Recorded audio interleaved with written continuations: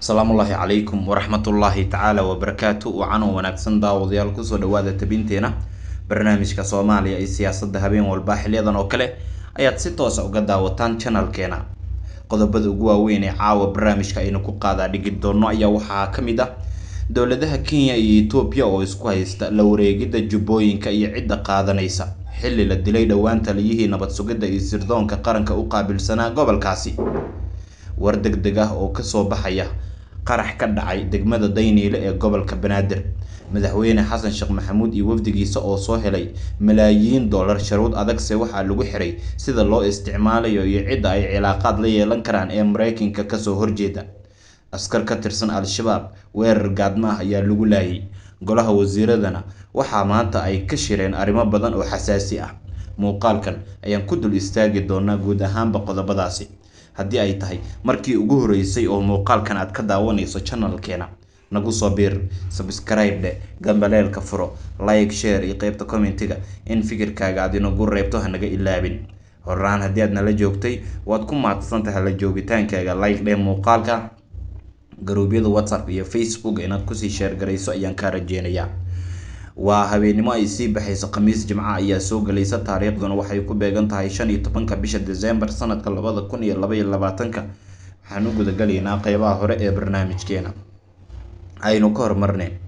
xog hoose oo soo baxaysa ayaa muujinaysa in dowladaha kenya iyo etoobiya ay isku haystaan cidda qaadanaysa gobolka gadow oo haatan baylahan kadib dilkii toddobaad ka hor loo geystay allah u naxariistee bakaal kooke oo ahaa nin gacanta ku hayay ammaanka guud ee gobolka gadow nabad sugidana ka tirsanaa xog hoose oo warbaahinta ay helayso ayaa sheegaysa in senator cabdulaahi sheekh ismaaciil fartaag oo ka tirsan aqalka sare ee dowladda federaalk soomaaliya iyo wasiirkii hore ee amniga jubbaland cabdirashiid janan in ay ku sugan yihiin magaaladaasi mandheere ee gobolka waqooyi bari kenya. Halkaasi waxaa socdaalkooda ku wehelinaya laba shaqsi oo sarkaalo etoobiyaan ah oo u qaabilsan xagga sirdoonka gobollada daawo laysku yidhaahdo oo gado ay qeyb ka tahay xogta aan helnay ayaa sheegaysa in mandheera ay kula kulmeen saddex shaqsi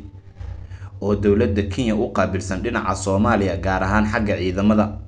Way adag tahay in warbixino dheeraada laga helo shirkaasi saddex geesoodka ah ee kenya iyo etoobiya iyo saraakiishan kale ee muhiimka ah halkaasi uga socda. Sidoo kale cabdirashiid janan iyo senator fartaag waxay iyaguna la kulmeen wasiirka difaaca kenya aadan barre ducaali kaas oo u sheegay in uu garab taagan yahay islamarkaana uu diyaar u yahay in uu ka caawiyo xoreynta deegaanada ku jira gacanta al-shabaab isaguna uu qaadan doono wax kasta oo mas'uuliyad ah oo macquul ka dhigi kara in al-shabaab laga saaro guud ahaan gobollada gacanta jubbaland ka maqan sida bu-aale oo caasimad u ah jubbaland oo weli axmed madoobe oo uusan tegin in ka badan toban sano oo jubbaland uu hogaaminayo dhinaca kale maalmaha soo socda waxaa shir uu ka furmi doonaa degmada doolow cadow halkaas oo ay ka qeybgalayaan shirkaasi mas'uuliyiin culculus saraakiil ka socota kenya xubno ka socda dowladda etoobiya mas'uuliyiin ka tirsan maamulka gobolka gado iyo siyaasiyiin ka soo jeeda gobolkaas sida cabdirashiid janan senator cabdulaahi fartaag korneel barre hiiraale iyo weliba xubno kale oo mas'uuliyiin ah waxaana arrinta ugu weyn ee laga arinsanayo ay tahay in jubbaland isbeddel dhab ah laga keeno islamarkaana axmed maxamed islaam axmed madoobe hanaanka uu wax u rabo la qiimeeyo. Marka la fiiriyo kenya iyo ethoobiya labadooduba waxaa dan ay ugu jirtaa in xasilooni lagu soo dabaalo gobolkan islamarkaana waxaa loo arkaa in gobolkan uu yahay gobol istaraatiiji ah dowladda federaalk soomaaliyase ahmiyad gaar ah inaysan siinin ayaa muuqata. Xitaa dowladii ka horeysay ee maxamed cabdulaahi farmaajo oo ka soo jeeda gobolkan waxaa loo arkaa inuusan ahmiyad gaar ah siinin gobolkan. Gobolkan qeybo ka mid a waxaa laga isticmaalaa lacagaha kenya iyo etoobiya lacagaha soomaaligana mar hore ayaa ugu dambeysay in laga isticmaalo dilkii bakaal kooke waxaa loo arkaa in uu kala dheentaalay isku xirnaantii hanaanka ammaanka ee gobolka iyadoo wixii dilkiisa ka dambeeyey al-shabaab ay bilaabeen ugaarsashada xubno xilal ka haya gobolka gado waxaana ugu dambeeyey guddoomiye waaxid ka tirsan garbahaarey oo ay qaarijiyeen xalay. Faahfaahin dheeraad ah ayaa laga helayaa qarax ka dhacay degmada dayniile ee gobolka banaadir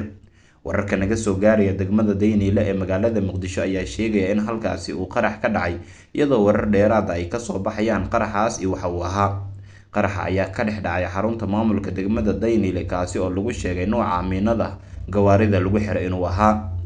Mid ka mid ah gaadiidka dadka barakacyaasha loogu adeego ayaa la sheegay in qaraxa lagu xiray waxaana ku dhaawacmay saddex qof oo darawalkii gaarigaas uu ku jiro iyo laba qof oo howl gaar ah ugu tegay xarunta in ay ka helaan ma jirto khasaare kale oo ka dhashay qaraxa marka laga reebo saddexda qof ee dhaawaca uu soo gaaray iyadoo kooxda al-shabaab ay sheegteen inay iyagu ka dambeeyeen weerarkaas qaraxa doornimadii maanta ka dhacay dayniile xalay abaare koob iyo tobankii iyo qadar soddon iyo shan daqiiqo ayaa sidoo kale qarax laga maqlay agagaarka isgoyska ifka xalane gaar ahaan meel ku dhow saldhigga booliiska degmada dayniile lama sheegin qaraxaas iyo faahfaahintiisa. Kooxdan oo culays badan kala kulmaysa furmaha dagaalka ayaa xilligan waxay wajahayaan culays kale oo ay doonayaan inay saaraan magaalada caasimadda ah ee muqdisho. Inkastoo ciidamadu ay feejigan yihiin wixii ka dambeeyey weerarkii villa rosana isbeddel lagu sameeyey ammaanka. Sirdoon badan ayay dowladda ku daadisay meelo horleh oo ka mid ah xayndaabka dowladda ay ku xoogan tahay iyo degmooyinka gobolka banaadir kuwaasi oo soo gudbiya xog rasmi ah oo ku saabsan dadka amni darada ka wada muqdisho. Sidoo kale duleedka muqdisho ayaa sirdoonka uu ka howlgalaya oo bartilmaalmeed isaga oo ah weeraro uu qaadaya mareykanka ayaa madaxda afrika wuxuu uga digay xasilooni darida ay shiinaha iyo ruushka ka wadaan qaaradda iyagoo gabaad ka dhiganaya ballanqaadyada balaayiin dollar oo taageero afrikaan ah. Xogayaha difaaca america leod austin ayaa hadalkan ka sheegay munaasabada furitaanka shirka mareykanka iyo afrika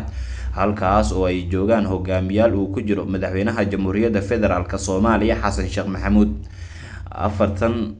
iyo sagaal hogaamiye oo afrikaan ah ayaa u duulay washington si ay uga qeyb galaan shir madaxeedka ugu horreeya ee qaaradda oo dhan ay la yeelanayaan mareykanka sideed sano gudahood madaxweyne joe biden waxa uu doonayaa inuu isticmaalo diblomaasiyad shaqsi ah si uu dib ugu soo celiyo saameynta mareykanka uu ku lahaa qaaradda afrika oo sanadihii dambe aada u sii lumaysay. Austin oo sii hadlaya ayaa carabka ku adkeeyay in shiinaha uu maalin kastaa sii ballaarinayo raadka iyo saameynta uu ku leeyahay afrika islamarkaana uu adeegsanayo dhaqaale. Xogayaha difaaca mareykanka leod austin ayaa hadalkan ka sheegay shirka afrika iyo mareykanka u socda. Qeybta dhibka leh ee jirta ayaa ah inaysan had iyo jeer ahayn kuwo hufan marka loo eego waxa ay sameynayaan taasi oo abuurta dhibaatooyin ugu dambeyntii carqaladeyn doonta. Haddii aysan horeyba u lahayn ayuu xusay. Ruushka ayuu si gaar ahaaneed ugu eedeeyey in uu bilaabay iibinta hubka raqiiska ah. Waxa aan ognahay in uu ku daabulayo caloosheed ushaqaystayaal qaaradda oo dhan ku sugan hubkaasi ayuu yiri. Taasina sidoo kale waxay keenaysaa xasilooni darro isaga oo sidoo kale sheegay xukuumadaha moscow iyo beijing inay yihiin kuwo is doonaya in mareykanka ay mar walba ka saaraan saaxada siyaasadda ee afrika iyaguna ay isku ballaariyaan. Maamulka biden ayaa taxadaraya islamarkaana soo bandhigaya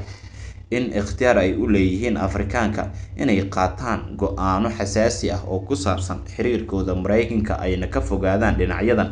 Mareykanka ayaa malaayiin dollar ugu deeqi doona dalal ay soomaaliya ka tirsan tahay waxaana la rajeynayaa in doolarkaas uusan ahayn mid iska caadi ah balse la dabageli doono xiriirka ka dhexeeya beijing iyo moscow iyo dalalkan lacagaha la guddoonsiin doono taliska ciidamada xoogga dalka ayaa shaaciyey in tiro ka mid ah maleeshiyaadka al-shabaab lagu dilay howlgal weerar ah oo ka dhacay gobolka shabeellaha dhexe taliska ayaa sheegay in sideed iyo labaatan ka tirsan ururka al-shabaab ay ku dileen tuulada juuxaay oo hoos tagta degmada aadan yabaale ee gobolka shabeellaha dhexe sida uu xaqiijiyey taliyaha ciidanka lugta xoogga dalka jenaraal maxamed tahliil biixi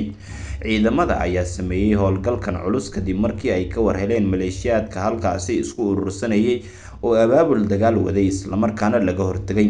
howlgallada ka socda gobolka shabeellaha dhexe ayaa weli aan dhammaan iyadoo al-shabaab ay joogaan deegaano hoostaga. Degmada aadka u muhiimka ah ee aadan yabaal waxaana wararku ay tilmaamayaan in inta badan al-shabaab halkaasi awood ay ku dagaalamaan aysan lahayn maadaama deegaanadaas aysan ku dagaalami karin. Shirka golaha wasiirada dowladda federaalk soomaaliyana maanta waxaa la isugu yimid xaalado xasaasi ah oo jira ra'iisul wasaaraha xukuumadda federaalk soomaaliya mudane xamse cabdi bare ayaa guddoomiyey shirka toddobaadlaha ah ee golaha wasiirada waxaana uu ga warbixiyey safarkiisii degmada aadanyabaal oo shalay uu tegay isaga iyo wafdi uu hogaaminayo halkaas oo si diiran loogu soo dhaweeyey islamarkaana dadkii soo dhaweeyey. Waxaa ka mid ah madaxweynaha dowlad goboleedka hirshabelle cali guudlaawe xuseen mudane xamse ayaa ka waramay xaalada nololeed ee degmada oo uu sheegay in khawaariijtu dhibaatooyin badan oo dhinac walba ah ay u geysteen. Shacabka ku noolaa degmada islamarkaana maanta ay dib u heleen xoriyad buuxda wuxuu ku ammaanay ciidanka xoogga dalka soomaaliyeed iyo dadka deegaanka ee naftooda u huray sidii looga xoreyn lahaa degmada. Waxaa sidoo kale isna golaha wasiirada warbixin siiyey ra'iisul wasaare ku-xigeenka mudane saalax jaamac oo ka waramay shirarkii uu ga qaybgalay dalalka niger jabuuti iyo angola oo dhammaantood looga hadlayay arrimo la xiriira isbeddelka cimilada amniga iyo dheelitirka horumarka dhaqaalaha qaaradda afrika. Shirka toddobaadlaha ee golaha wasiirada ayaa waxaa lagu soo bandhigay laba hindis sharciyeed oo golaha u soo bandhigeen wasaaradda amniga gudaha iyo wasaaradda arrimaha gudaha federaalk iyo dib u heshiisiinta. Iyadoo ra'iisul wasaaraha uu bogaadiyey golaha wasiirada iyo shaqooyinkooda sida ay u qabsanayaan. Golaha wasiirada dowladda federaalk soomaaliya ayaana waxaa la filayaa in toddobaadyadana soo aadan shirarkooda ay ku meelmariyaan hindisooyin xasaasi ah oo horyaala guud ahaan waa naga intaa tabinteena barnaamijka soomaaliya iyo siyaasadda muuqaalkan kan xiga intaan dib ugu kulmi doono nabadgelyo